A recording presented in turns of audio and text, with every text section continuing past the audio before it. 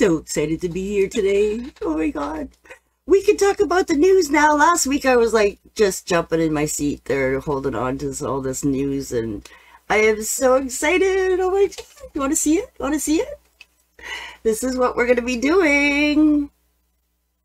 My little chickadee, I turned it into a holiday festive sort of. Still great for, you know, any season if you like to uh, add some pine needles and some berries. And uh, yeah, this is my little chickadee. And um, I'm so honored that when Donna seen my bird, she goes, you got to do that chickadee and just add some Christmas flair to it. And it's to be perfect for our event. And it's just like, I'm so excited. What do you think, guys? Hmm? How many's joining us? Uh, yeah, I'm going to break it down for you guys, okay? Um, Belva's asking about um, if she's a newbie can be able to do it. Um, with the one-stroke technique, I'm telling you, there's so many tricks, and everything looks harder than it is. It's really deceiving sometimes. And it's just learning how to double load your brush and putting some pressure down on it, and then flicking it out. So with my particular chickadee project, there's a lot of uh, chisel work, right? So it's going to be very repetitive and very easy, and I've got the pattern there for you too to start you off and uh, I'll show you how to do the pattern and, and um, get it all laid out. And uh, I originally did my first one in the pure paints that are like an oil paint, heavy body. Um, and then when Donna asked me about this, I'm like, yeah, sure, I'm game. So I recreated this all with the multi-surface paint. And um, so, yeah, thicket, uh, thicket or um, bright green is what I used a lot in here. So I did use some of the newer colors um, to give you guys some heads up if you want. I want to talk about reds today too for you uh, a little bit, just because we're getting into the poinsettia season, and um, to the, you know tomorrow is uh, our Remembrance Day, and if you're wanting to tackle a poppy, I figured I would come on today and show you a few things that uh, might help you do that um, especially when we're shading with red. So red is definitely one of our hardest colors to shade with. So um, I've got a few little uh, tricks up my sleeve that I'd like to share with you today. So yes, definitely, if you guys have any questions, please pop them down in the chat below. Uh, thank you. You love my poppies. You want to see uh, some, I was playing around. And of course, some of them are more advanced, right? So um, actually, with with playing around, I'm gonna I'm in the midst of creating actually a practice course just on the poppy. And if you guys know me at all, um, by the way, I didn't introduce myself to you guys that are new to my group. My name is Mandy Cision. My original name, like my given name, is Amanda. But with Amanda Dewberry, it was funny how many times I get tagged with her stuff. You think you're talking to Amanda Dewberry, and I get tagged. And then I have some other friends that are named Amanda, and I'm like, I've been named Amanda all my life. My mother's always called me Mandy. All my friends call me Mandy. So Facebook allowed me to change it to Mandy. So Mandy is my name. Cision, well, that's my last name. Uh, it's my married name, just give you guys a little insight on my last name, because it was so funny, Donna having a hard time with my last name. And uh, I married a man named Darren, uh, my father, the son of my father, the my son's father. First marriage. his name was Darren, and I used to joke with him, Decision. His last name was Cision. And I'm like, the man couldn't make a, a, decision. It was so funny. So anyways, that's my little joke on how to say my name last, uh, my last name properly. And, um, and then through the years, you know, I've been, people like, you're such a perfectionist, you know, Precision Cision, I got the nickname. And then it was like, Precision Cision couldn't make a decision. because I can paint on anything. I just can't decide some days on what I'm going to paint on, what I'm going to paint. There's so many ideas and things that we can create is just endless. So sometimes, yes, I have a hard time making a decision. And even on, you know, Tip Tuesdays, you know, sometimes we change our mind. And I guess that's artists' uh, rights. We're allowed to do that. so I hope that you guys are uh, enjoying, you know, my new live I'm pushing myself to get out of my comfort zone, and I hope you guys are going to push yourselves out of your comfort zone. We are dissecting them. Um, like I said, if you know me by now, when I see something, I want to dissect it. How do I do that? Why does it work like that? You know, what is it that I'm I got to get before I understand the process?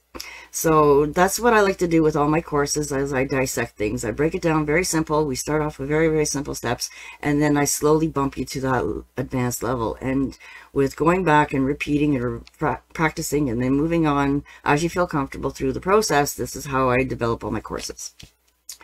Alrighty, so I'm going to just show you down here on, uh, I took a quick picture before the live today, and um, I was playing around with some ideas for our course for my practice sheets for you guys to print out. And definitely these are some advanced strokes here, playing around, uh, layering them. And you can see just by some of my examples, I was using some different colors to play around with my reds. And for the traditional thing, uh, Remembrance Day poppy, we tend to go with the reds. And I have some beautiful poppies in my garden, and they're really light and white, and lots of pinks and purples. And, you know, uh, poppies can really uh, be any color. You know, you can fool around with poppies any time of the year. And I do plan to play around with that in my course as well, is put some different colored poppies um, and different ways of doing it. And if you guys checked out my dream catcher, I did kind of give you a little heads up on how to also do flipped petals as well. So the, there's that option as well, or doing backflips with your strokes as well to create, you know, more really roughly kind of, um, so I've got a couple of different variations here in different sizes and, you know, uh, tearing them, you know, twice or three times, you know, playing around, you know, because we can, you know, so I just, you know, thinking, you know, this might be a good topic to, to come along and share with you guys to how to create the shading because mm, like I said, people usually use black with the red and sometimes black can overtake your red and make it almost too dark. And then you want that center with the black to pop out. So we're looking for a little bit more softer shade of black in the background to have that gradient go on with the red and then, of course, if we add white with our red, we end up with pink.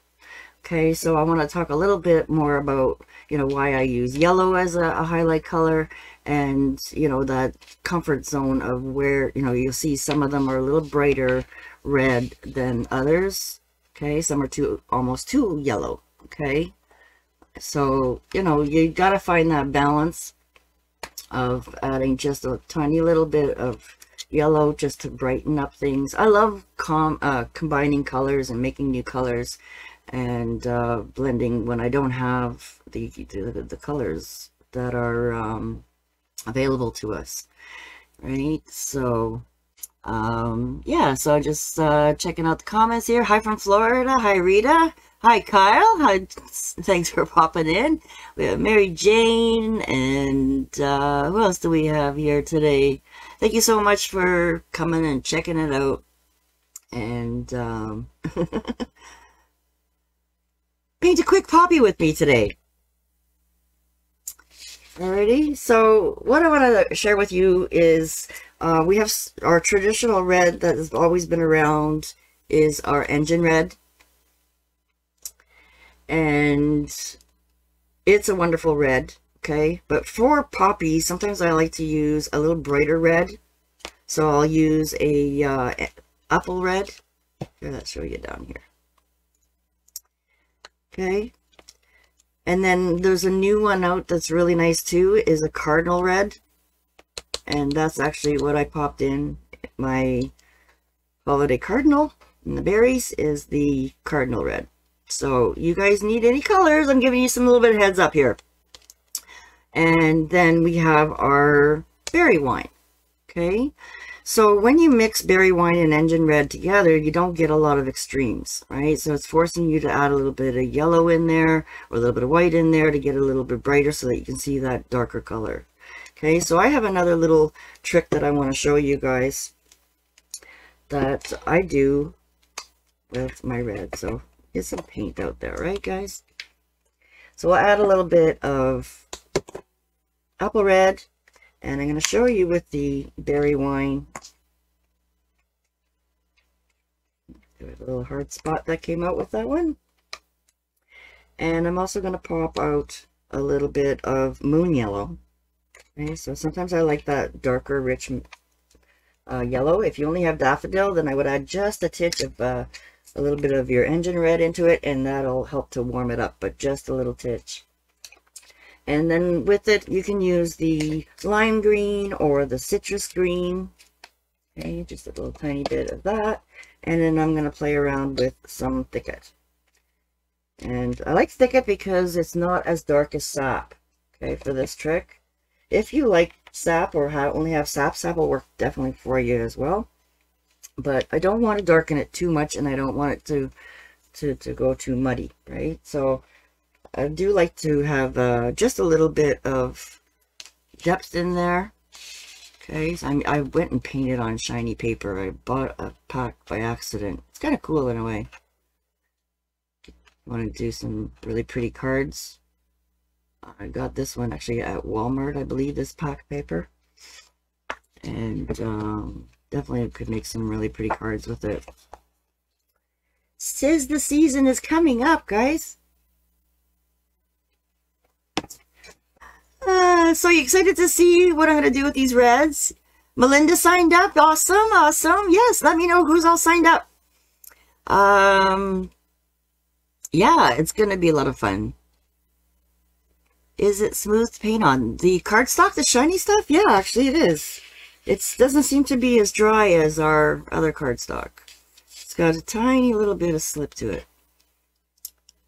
Um, yeah, so next Wednesday, I'm going to change it to, my live will be here next Wednesday, guys. Already, play with that. And, um, yeah, let's get these shiny ones off here so that you guys can see a little bit better on the matte paper.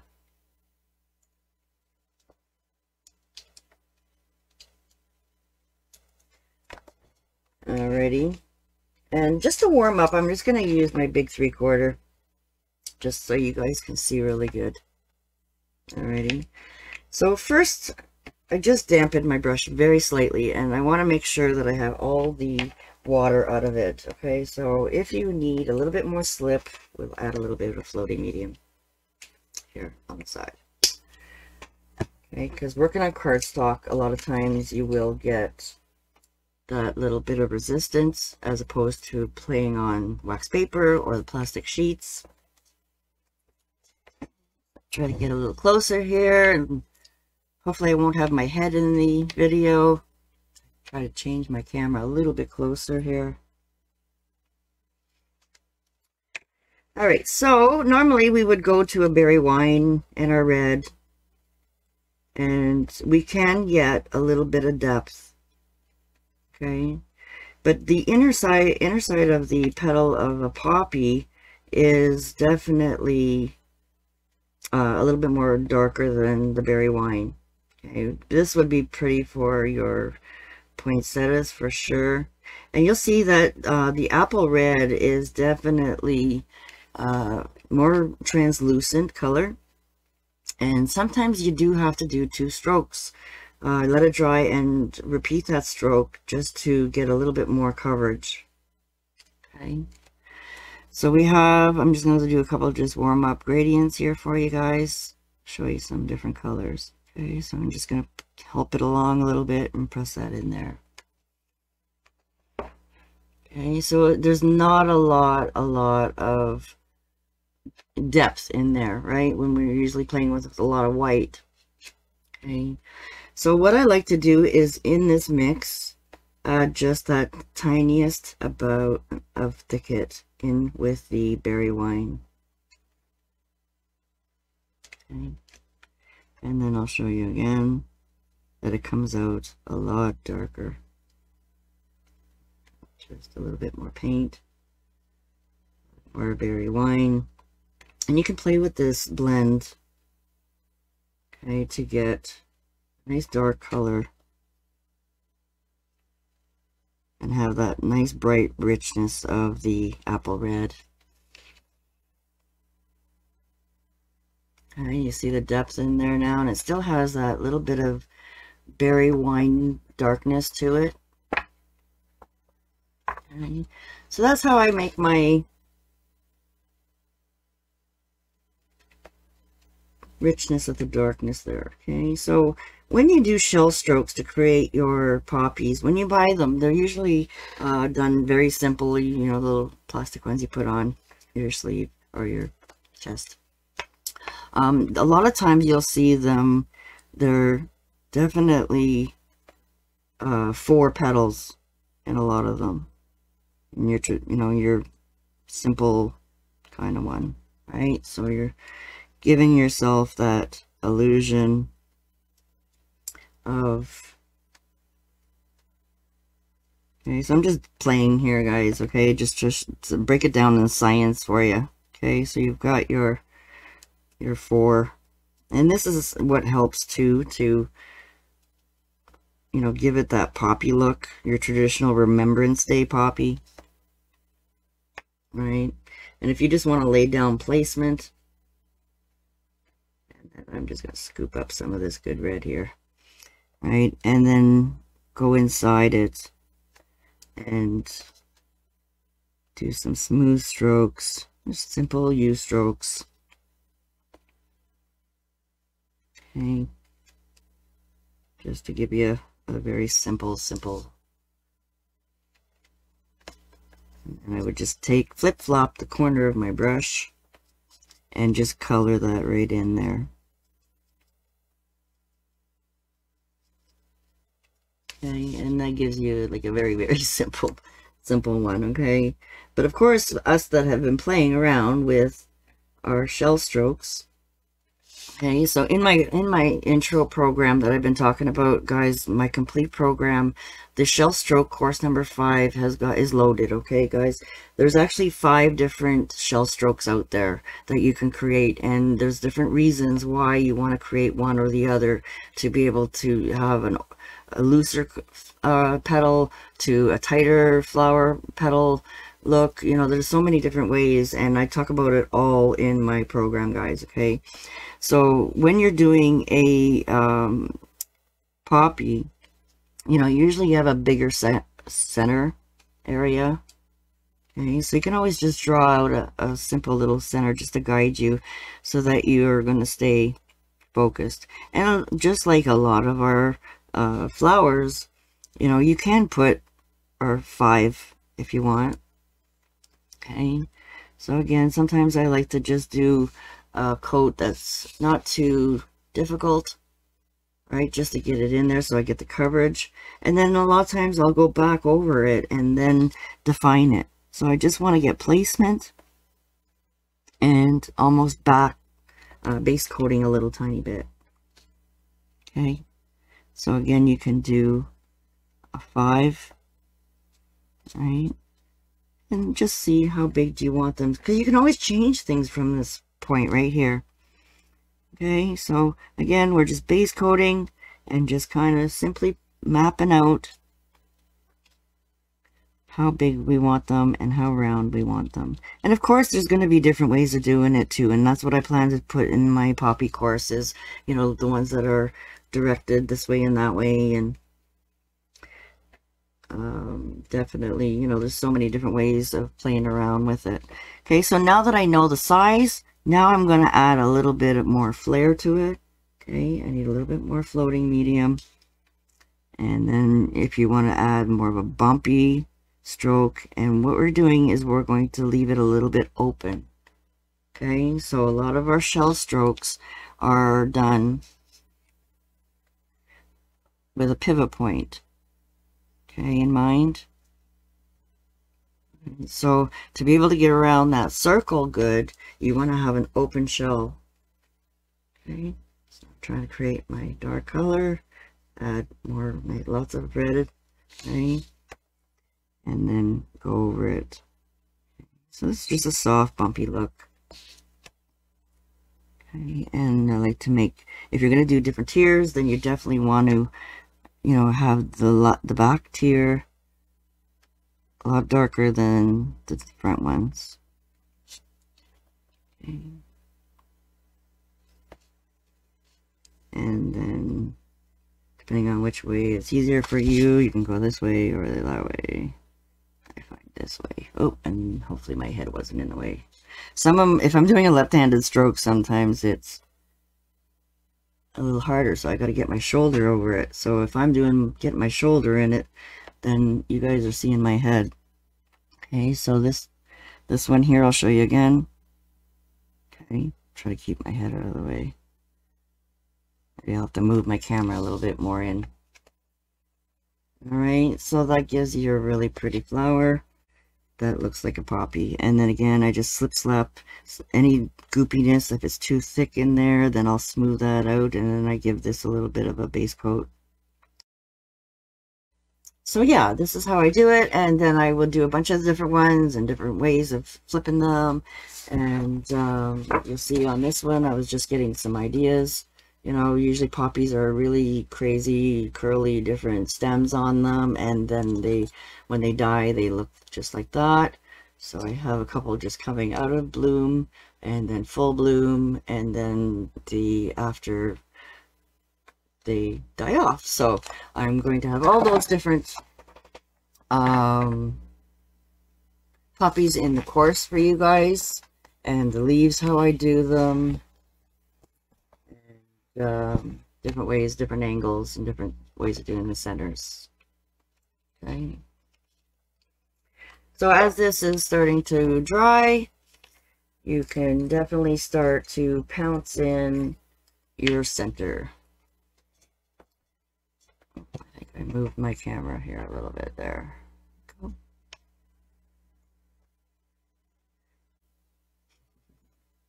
So what do you think, guys? What do you do if you have paint bottle with thick paint inside? I bought a brand new moon yellow and it's very thick. Definitely, um, depending on how thick it is, I do have a couple hacks that I made now. There's two hacks, two ways I uh, play around with uh, thinning out my, my paint, Melinda. Have you seen them yet? Um, definitely floating medium is going to be your trick. And sometimes what I do is, uh, I'll show you back down here, is if I have a really thick one, then I will pre-wet it, put a little floating medium in it, and pre-wet it, so then that way when I need it, it's at the consistency that I need. Does that help with that question?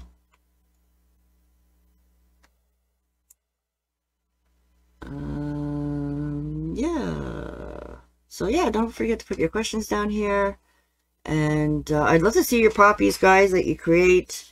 So what I also do uh, as well is I add a little bit of black. Just a little tiny pea. And a little bit of white.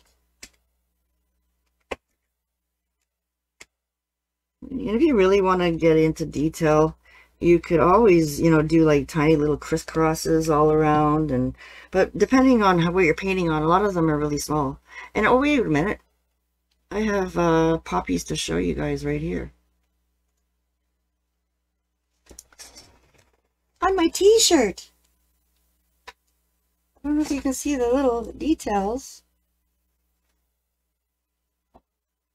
Alright, so Donna's done some little poppies on our t-shirts here. And again, with the whites and the different colors, right? So, like I said, poppies can be uh, very simple, one layer, right? And you guys want to see how I lighten them up too, right? Alright, so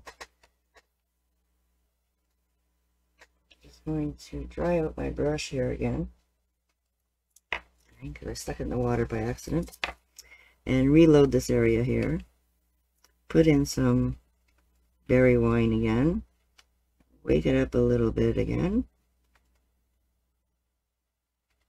Now I'm going to add just a titch of yellow. Okay. So you'll see over here is a little brighter,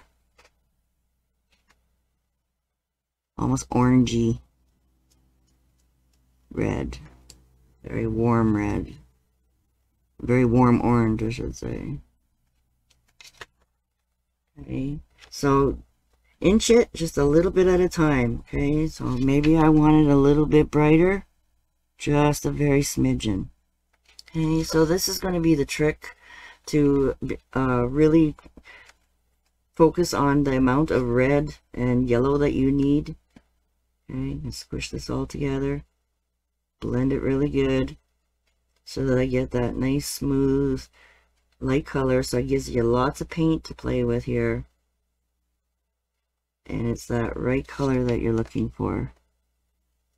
Okay, and then if you still want to add a little tiny bit of highlight, I'm right at the top of my page there, then definitely you're going to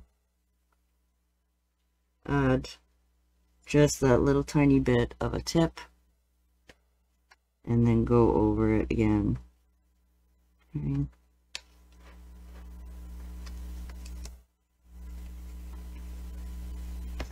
Alright, so we can do our simple look here and you can test it.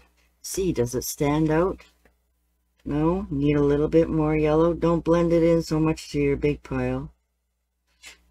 Let's try again, you know, so you want to be able to see it, right? But you still want it to be able to look red. Okay, and then I brick layer my petals a little smaller. Layer them a little bit. Again, I'm trying to stay a little simple for you guys here. If you want to have more advanced, then you're going to have to jump on my course when I have it finished. And um, add another skirt in there. Okay, if you feel like it's too yellow, then definitely go over it again and darken it a little bit. Okay. Those just very simple, bumpy shell strokes. Hopefully you guys can see. Gonna move over a little bit more. Gives it a vintage look. Yeah. A little bit more fancy. Okay. And then of course if you want to do the back flip, then you need a little bit more yellow just on the tips. Okay. When you're doing your strokes, okay, paper is warping. Okay, and it's just about playing with your brush.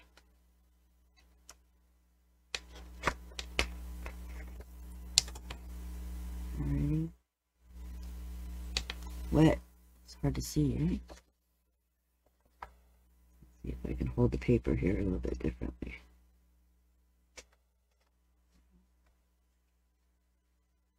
Um, I do a couple bumpies and back rock and around and around. You can just do one in the middle if you want.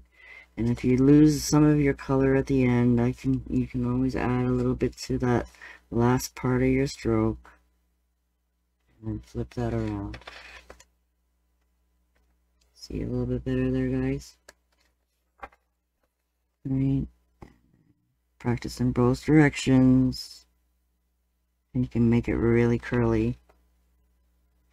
Okay bit of floating medium.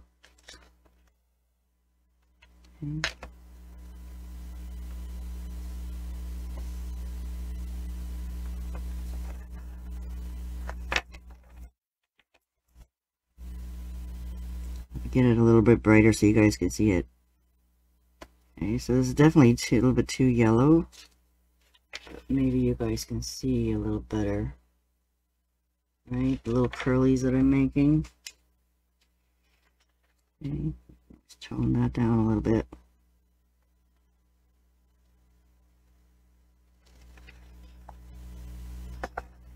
Okay. Always go over it again, guys. You never have to worry about that. Okay. But I do like that more of a darker, orangier look. Okay, so this just looks like a highlighted red. And it'll show a lot better Okay. I play around. Just make them really loose and curly looking. Okay.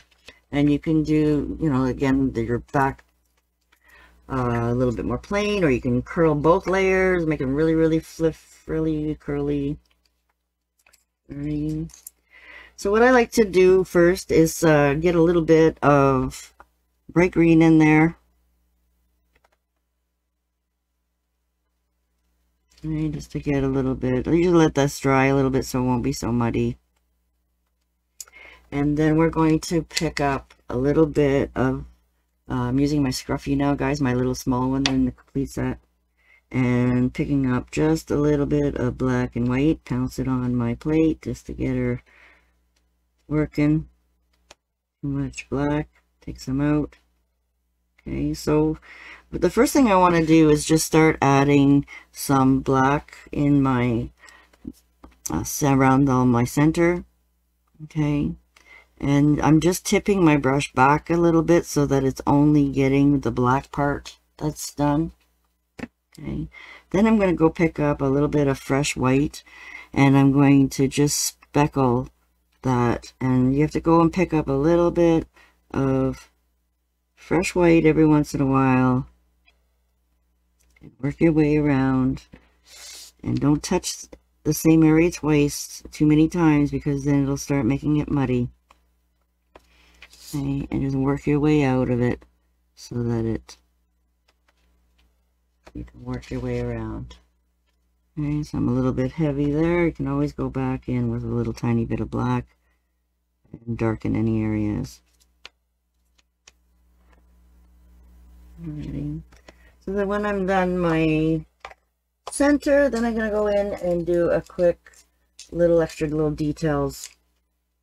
And what I like to do is uh, pick up a little bit of citrus and white and when I have anything smaller than a 8 guys, like a size 6 like this, I like to do my loading a little bit different. This is how we did it on in the nail industry.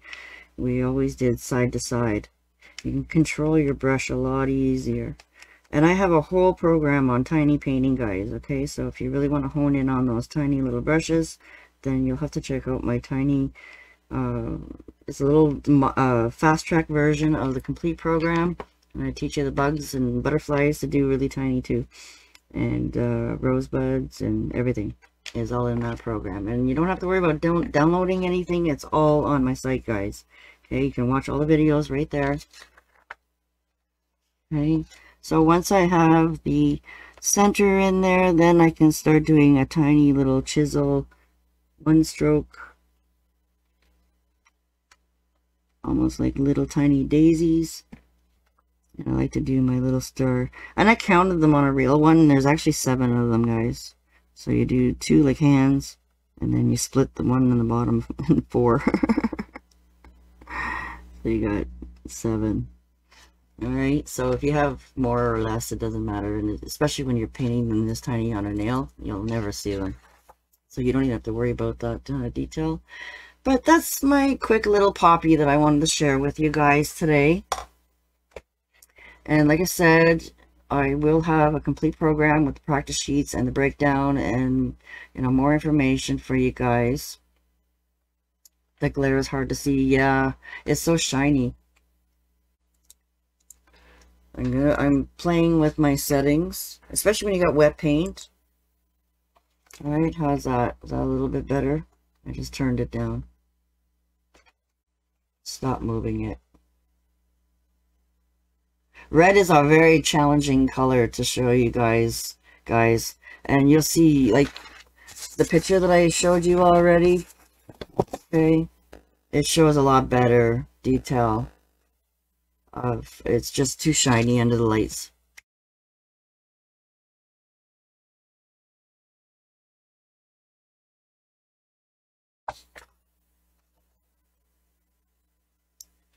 Okay shut them right off and then you won't be able to see anything at all.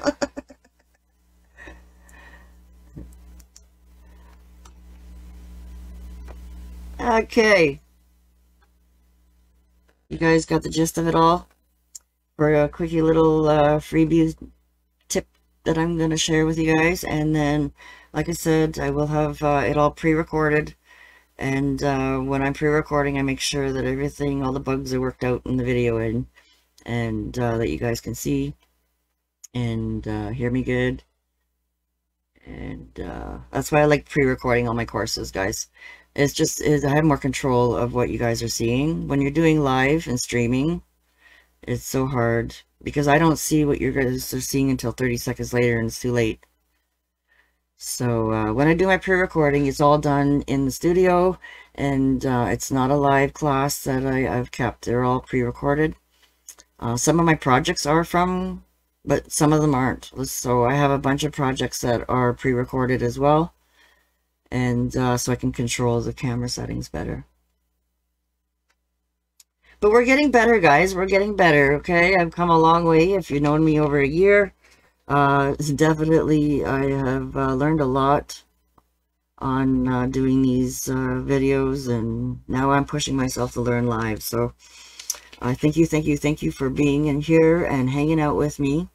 If you have specific questions and you just want to cover a couple things with me private, I do have an option for you to go on my site and book some Zoom time with me private one-on-one, -on -one, and I'll send you that recording as well. So you'll be able to remember all the questions that you asked and things I showed you. You'll be able to keep that recording as well.